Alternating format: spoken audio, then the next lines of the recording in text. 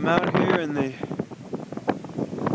the tip of the Bermuda Triangle. This is the moon, half of the moon sitting sort of belly down, half moon, right over the Atlantic, and I'm here. The wind is just billowing. It's it's warm, tropical wind.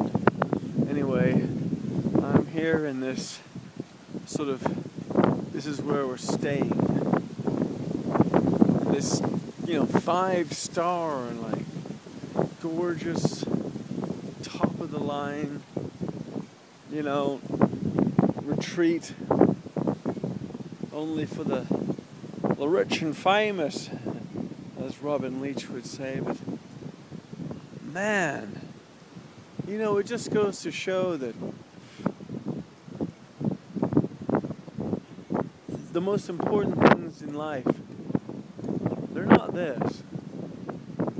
You know, I've been I've been everywhere, you know?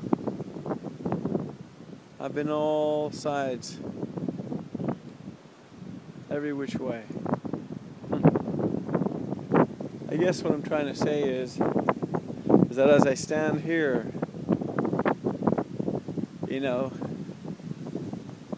about to make the the next big leap my quite evolutionary life.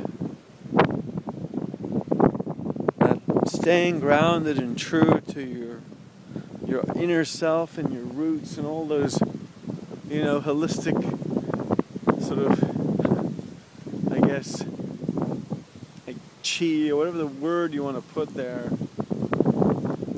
You know, just when you think you've you've made it, you really haven't. You know. And just when you really think that things are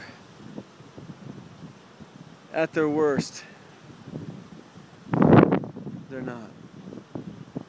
Because I've thought, I've thought it, you know, both ways. Can't begin to tell you.